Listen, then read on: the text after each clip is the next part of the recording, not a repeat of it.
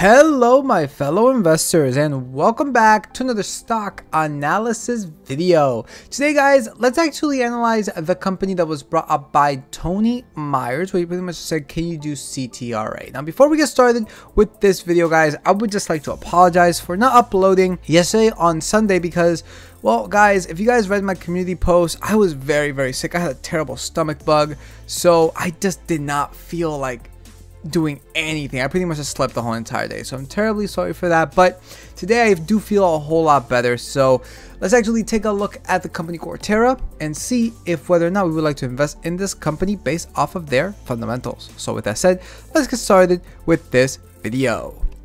Alright, now before moving into any numbers guys, Coterra is an independent oil and gas company engages in the development, exploration, and production of oil, natural gas, and natural gas liquids in the United States. So you guys already know I absolutely love my energy companies. I mean, my best performer in my entire portfolio is Chevron. It's up like $8,000 like in just capital gains, not including dividends. So I really do like my oil companies. I don't believe that oil is going to go anywhere in the near future. So let's actually check out this company even further. Now they did have earnings as of November 3rd. I don't want to take a look exactly at all of their earnings report, but here's a quick summary of their earnings. We got the EPS normalized actual $1.42, which is a beat by 3 cents. EPS GAAP actual $1.51, beat by 17 cents. Revenue came in at $2.52 billion, which was a beat by 120 $26.5 million. So now let's actually come into the calculator. We got the ticker symbol for CTRA, market cap of $452.62 million. So a really, really small company, a P of 32.7, which is massive. Now this is with a share price of $24.85. And now this isn't surprising because energy has just been skyrocketing within these past couple years, right? On the one year, they're up almost 30%. On the year to date, they're up 35.88%. 52 week ranges is between $17.19 to $35.25. So we're pretty much smack in the middle of this 52 week range. Now they do pay out a dividend of 60 cents, which becomes a yield of 2.45%, a payout ratio of 45.77, a five-year CAGR of, take a look at this, 28.69% with six consecutive years of dividend payment. So if they're able to continue this almost 30% five-year CAGR, into the future, guys, that is a massive, massive yield, especially since, well, right now they only pay around 60 cents in annual dividends per share. Ex-dividend date passed as of November 15th. Payout date was on November 30th, and they pay their dividends quarterly. Now, based off of their total common shares outstanding, they pay out guys $473.1 million in dividends every single year. And unfortunately, based off of their five-year average free cash flow, this is negative $44.7 million. However, as of their last year's free cash flow, it is almost $466 million. So as you can see, they really ramped up their free cash flow rather recently. Now, these payout ratios come out to be 50.38% based off of their last year's free cash flow and 110% for the five-year average. So on the five-year average, they can't afford this at all. However, on the last year's free cash flow, it seems like they're able to so far. So now coming into the fundamentals, we got the net income five years ago of $100.4 million, two one year ago of $1.2 billion. Guys, that is an increase of 1,053%, which is just massive. I mean, just take a look at this graph. They went up a pretty big amount from five to four years ago, and then a pretty decent amount, pretty consistently, honestly, from four to three years ago. They collapsed two years ago, probably because of the whole COVID thing and the lack of demand, so that's perfectly understandable. And then they just did a massive jump the following year, going from $201 million to $1.2 billion, as I said. So there's a lot of outliers here. I'm not necessarily liking it. Some of them are understandable, however, some of them aren't. So for that reason, guys, I'm going to have to give this like a 40%.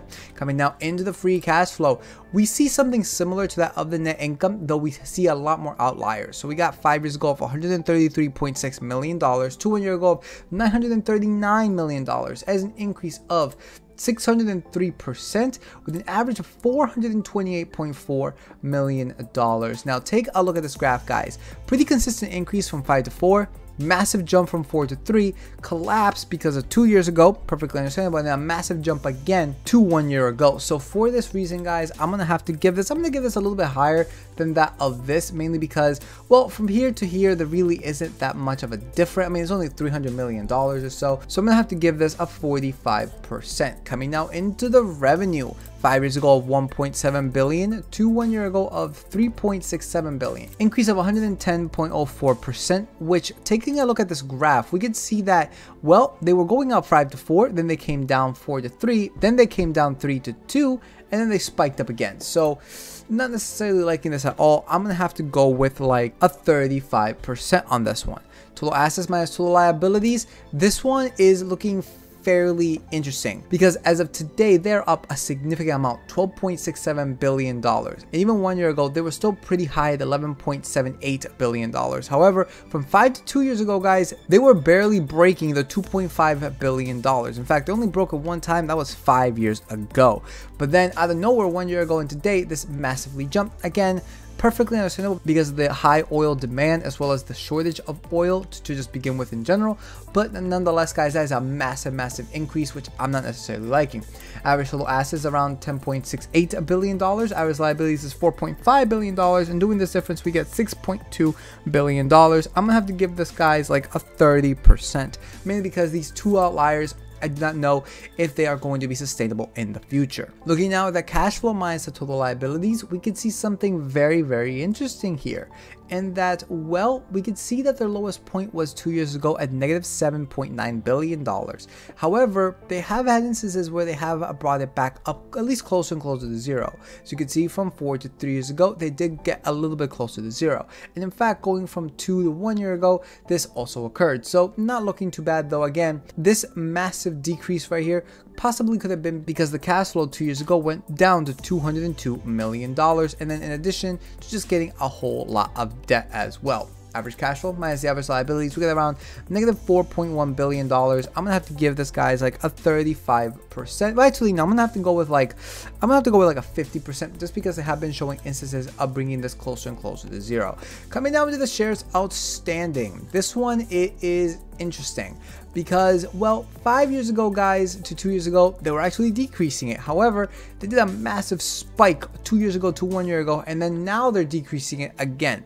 We got five years ago 460.6 million shares to today of 788.5 million shares. That is an increase in the five year of 71.2 percent and from the previous year to the current year, that is a decrease of negative 3.1. So in the five-year scale, this is looking very, very bad. However, you can clearly see that they are bringing this down. But then again, I don't necessarily know if they will continue to, to do this because even in the time when they were decreasing these shares right from 5 to 2 years ago. From 3 to 2, they actually increased it a little bit, going from 397.9 to 398.9. So definitely something to think about. Overall, I'm going to have to give this, I mean, I have to give this like a 20% because guys, this is a massive, massive increase on the five year scale, even though sometimes they are buying them back. And lastly, when it comes to the cash and equivalents, they hold $778 million an average of $439.42 million.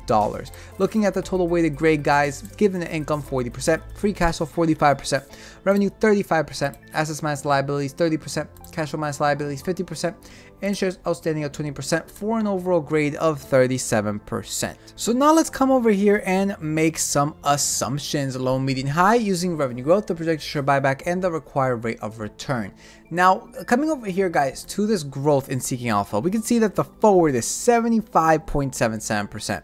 I'm sorry, but I do not believe this. There's just no feasible way that this could actually happen. I mean, sure, within the past couple years, we have seen a massive spike when it comes to oil, mainly because of the shortage of oil supply. Will this continue though? That is the question. Possibly not. Things tend to come back to normal at some point in the future. At least that's what we have seen in the past. So we have to take those assumptions into account. So for that reason, I'm to have to go with the revenue growth guys of like three four and 5% for the low, medium, high. And then for the protected share buyback, we have seen that they have issued, but they've also, but we've also seen that they have bought back. So let's just go with negative two within the next four years, zero and 2% within the next four years for the low, medium, high assumption. Basically saying that they'll issue shares at negative 2%, do not buy back any shares at all or issue any shares, and then buy back 2% of shares. Now, based off of this, guys, we get the target share prices $49.18 to $55 essentially from low to high. Now, adjusting for debt, this comes down to $47.78 all the way up to $53.42, margin of safety of 5, 10, and 15%. This puts me between $40.61 to $50.75. So with the current share price of $24.85, this is looking like a pretty good buy. However, guys, understand that every investment is the present value of all future cash flow. The calculator is telling me that it is a buy right now. However, those weighted grades do not, right? I mean, their fundamentals are pretty lackluster. They've had a lot of outliers, especially in the most recent years. So this may actually come down back down to earth in the next upcoming years or so. So you definitely have to be careful with that. That's why in my personal opinion, I'm not necessarily liking this company. Even though the calculator is telling me that is a good buy right now, the fact of the matter is that their fundamentals just aren't there. Now, as I just said, every investment is the present value of all future cash flow.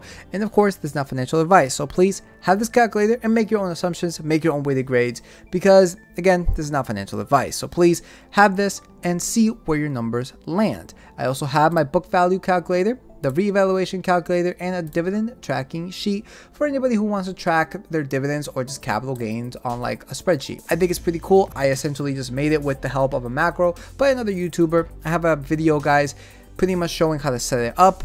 So if you guys would like that, make sure to check that video out. All I'm asking for in return for these calculators and daily content, occasionally daily content, again, I'm so terribly sorry for not being able to upload on Sunday all I'm asking for in return, guys, is just like, subscribe, comment. It really does help her with the algorithm on YouTube. Thank you so much for everybody who have subscribed, liked, everybody who's just supportive. I really, really do appreciate it. Who leaves comments, I really do appreciate it.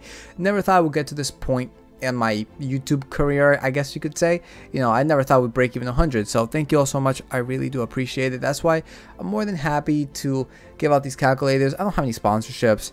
The best way you guys can help me is just like, subscribe, comment. It really does help. Now taking a look at this dividend, they don't have a pretty big dividend. However, seeing that the share price might be undervalued, let's see what we get. Putting in $5,725, this buys you 239.39 shares for an annual payout of $138.24, quarterly of $34.56, and a monthly of $11.52. My personal opinion, this could be a whole lot better. I mean, there are ones out there that have less, yet the yield is so high that you're getting in like the $300 per year. So that's my personal opinion. I think you could do a whole lot better when it comes to this kind of company. All in all, thank you so much for this recommendation. I do like my oil companies, but this one just isn't doing it for me. Their fundamentals just aren't there. Even though the calculator is telling me to buy, it just really isn't there for me. Maybe in the future, if they prove themselves that they are able to be consistent with their fundamentals, we might actually take a look at this and I might actually be excited for it. But anyways, guys, that pretty much is for this video. Like if you like, comment, subscribe. It really does help out with the algorithm on YouTube. You guys can follow me on six sites. Link in the description below. So with that said, peace out. And I will see you all in the next stock analysis of video.